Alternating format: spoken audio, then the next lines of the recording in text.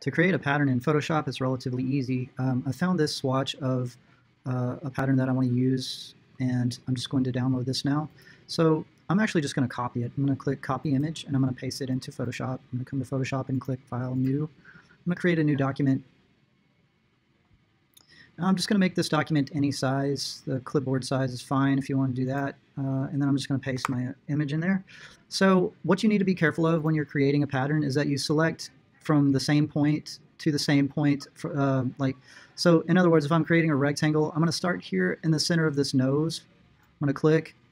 I'm going to go to the center of the nose over here, and then I'm going to come down, make sure I'm in the center of this nose here. So I'm going to then define that as a pattern. So I go to uh, Edit, Define Pattern, and I'm going to call this Skulls. Click OK. So now that I have my pattern defined, I can go to File, New, and just create a new document that's 8.5 by 11. Give this a second here. Okay, now uh, I'm going to make a standard print size of 8.5 by 11 letter. Now I want my resolution to be 300. I'm going to click Create.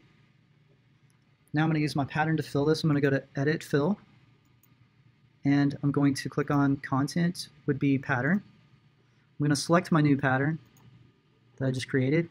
I'm going to click OK, and it's going to fill my background with that pattern.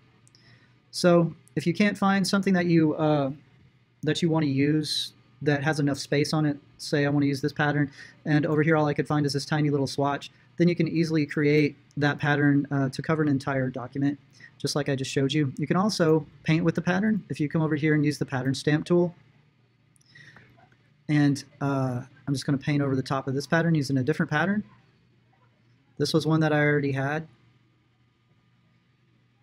And as you can see up here at the top, you can change the, the type of pattern that you're using. And then you can just use this as a brush and brush that pattern in.